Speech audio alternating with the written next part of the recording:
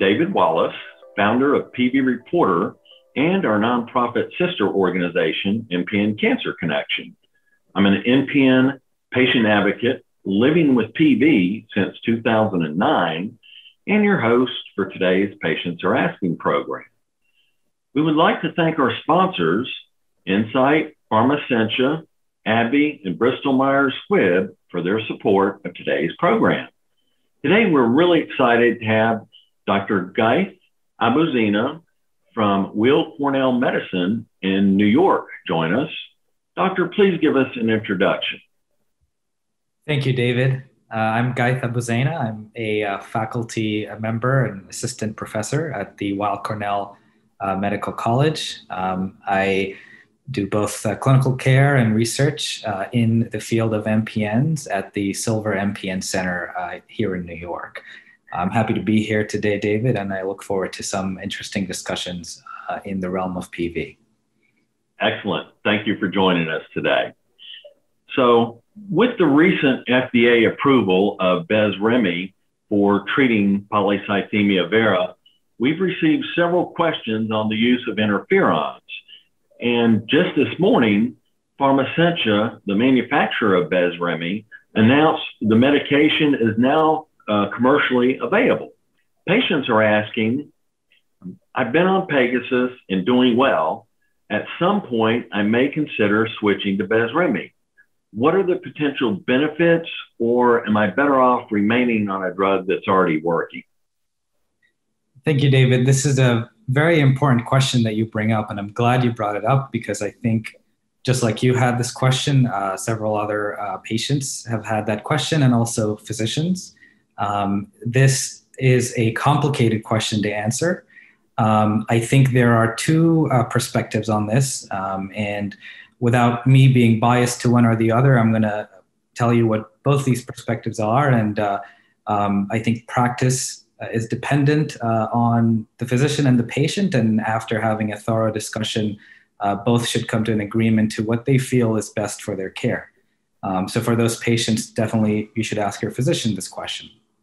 But uh, from my standpoint, I see this from two, uh, two perspectives. One is if a patient is doing well on uh, Pegasys uh, and they've been on it for a long time, they've tolerated the drug, they're doing well clinically, and it's effective in controlling their disease, um, then why change something that's working?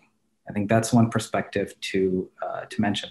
The, the second would be there are some challenges with um, uh, Pegasys that might be overcome with Ropeg. Uh, certainly, having a drug that now has an FDA approved approval or FDA label uh, makes makes it a little bit easier to get the drug and get access to it. At least one would think. So, in certain cases where there are some financial hurdles, um, getting insurance approval, which we haven't seen as much uh, in the past few years with Pegasys, with the emerging data, but certainly there are still some hurdles as being a drug used off label, as is many other drugs that have, are used in the treatment of PV uh, the off label makes it a bit of an issue sometimes or a financial hurdle that could be overcome now that we have a drug that's FDA approved. Um, certainly, uh, in some patients, the, there is convenience in dosing a drug less frequently. Um, doing a drug that's uh, once weekly uh, versus every two weeks might be a convenience factor. Uh, for some patients, they might feel that doing it a, once a week helps them stay regular on track and that doing it every two weeks makes them forget about it. um, but for others, that could be a convenience factor. And certainly the frequency of dosing can be adjusted based on uh, the response, the tolerability, um, and the preferences of the patient. So I think that that comes with an advantage to be able to have a drug that has uh, pharmacokinetics uh, that make it a long, longer acting drug dosed less frequently. Okay, excellent. Thanks for giving us uh, that thorough overview. Many hematologists at the local level are, you know, they still recommend phlebotomy and aspirin for low, uh, low risk PV patients. So, why is that? Um, are there opportunities for patients to educate their local physicians?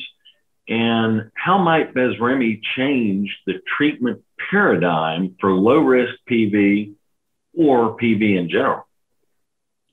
Uh, great question, David. As you know, for uh, PV, currently the uh, the management going by treatment recommendations established both nationally and internationally um, suggest a risk adapted treatment approach. Um, so, generally thinking of a patient of being a high risk or a low risk patient, um, which has its limitations. But the way the risk stratification system is geared is to predict or estimate the risk of a PV patient to developing a um, cardiovascular event or blood clot. So, that being said, it is well established that high risk patients um, those who are at high risk for developing blood clots would benefit from cytoreductive therapy using, uh, you know, as agents, cytoreductive agents, in addition to phlebotomy as needed to control the um, red cell parameters. So that is well established. And when it comes to the first line cytoreductive of choice, I would refer patients to the randomized clinical trial that led to the approval of ROPEG both in the European Commission and and the FDA, and that is the um, uh, PROUD PV and the CONTI PV studies uh, that have uh, established uh, ROPEG interferon as uh, a drug that is superior in controlling um, blood counts uh, and also improving other outcomes in the clinical care of PV patients. Um, so, in that clinical trial, it, it is clear that for high risk patients, uh, ROPEG interferon may be a better option uh, for, for therapy. Hydroxyurea is, is an acceptable option too for high risk patients, and not all patients are candidates for interferon alpha, so that's important to highlight. When it comes to thinking about low risk patients, um, those who are considered uh, to be less likely to have a blood clot, uh, and that currently is categorized as anybody under the age of 60 who had never had a cardiovascular event. Um, again, that being a limited uh, stratification system that frankly, in our practice, we don't, we don't use routinely. Um, the recommendation is for phlebotomy only. Um, however, there are emerging studies now, uh, particularly a randomized clinical trial uh, uh by Dr. Uh, Tiziano Barbui and others uh, that is called the low PV study, um, that has compared ROPEG interferon to phlebotomy alone as a strategy in treating low risk PV patients. Um, and at, at, one year of assessment or evaluation, it was shown that ROPEG had a, uh, was superior to phlebotomy alone in achieving the primary endpoint um, of uh, hematocrit control and, and symptom benefit. Um, and although having cardiovascular events in the low risk patient at one year is low, um, that is something that over time should be looked at to also establish that by controlling hematocrit and improving symptoms and improving the disease, that patients are less likely to develop the complications of the disease, which uh, primarily in the early phase are cardiovascular events. Uh, and so that study, uh, inferring from that study, ropeg interferon uh, would be the preferred uh, treatment of choice in low risk patients. Again, uh, understanding that not, a, not every patient is a candidate for interferon alpha, and patients should be assessed and evaluated for uh, candidacy or eligibility to receive this treatment. Okay, excellent. Thank you so much for joining us today. I think you've given us an excellent primer on uh, treatment for polycythemia vera. Um, hope our listeners have uh, enjoyed this wonderful information. So please stay tuned as we have updates from our uh, sponsors today who make these educational um, programs possible. So thank you again for joining us. Thank you, David, for having me.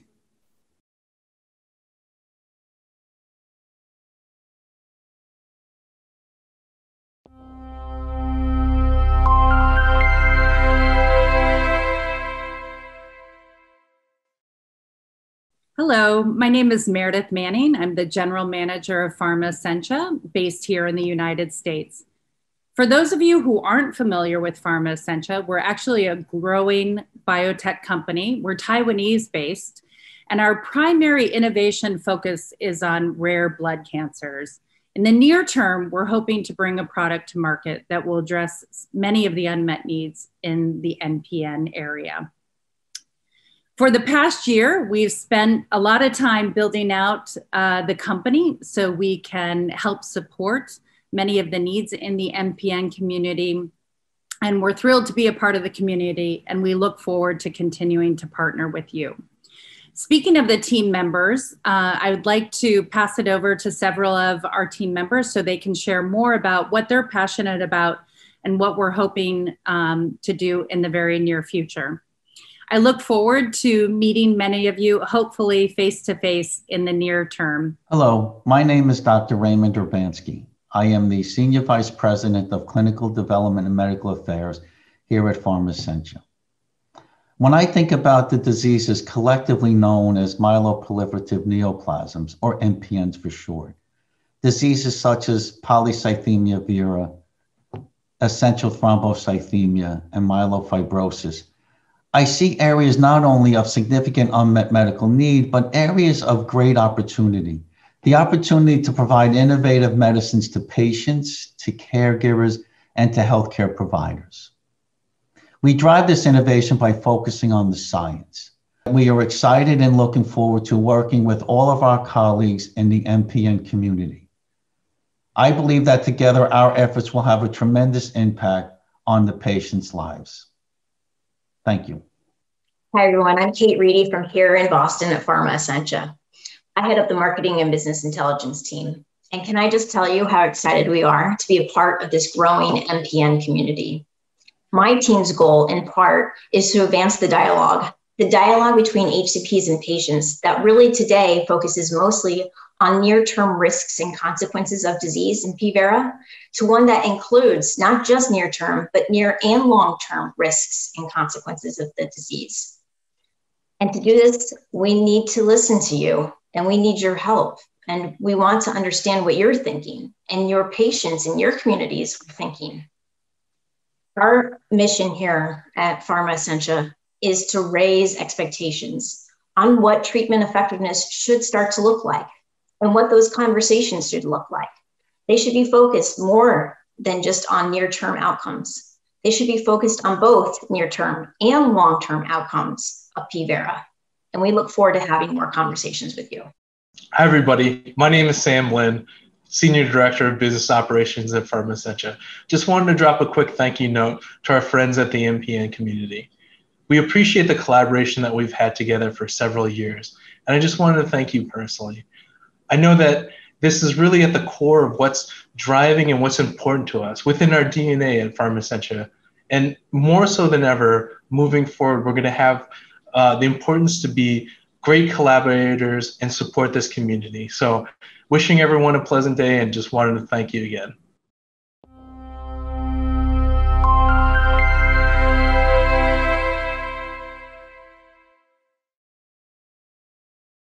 Hi, my name is Kristen Griffiths, and I work on the public affairs team at Incyte focused on MPNs. I'm very pleased to be here today to represent Incyte, and I would like to thank David and MPN Cancer Connection for having me and giving me a few moments to speak about our company and its commitments to patients. A little background on Incyte Incyte is a Wilmington, Delaware based biopharmaceutical company committed to making a difference in the lives of patients through scientific discovery. Rigorous science is at the core of everything that we do to develop, discover, and deliver novel medicines that will meet the serious medical needs in oncology and other diseases.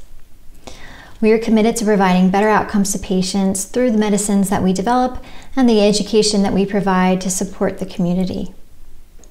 One of our most important commitments is to ensure that the appropriate patients may have access to the medicines that, that they need for this reason, we have developed a patient program called Incyte Cares to help support patients and healthcare providers access their prescribed medication. For eligible patients, Incyte Cares offers prescription drug verification, prior authorization support, free drug and copay assistance for those who qualify under the program's terms and conditions, as well as ongoing education and support from a representative. Patients who have concerns about access to their prescribed medication should contact Incyte Cares for assistance.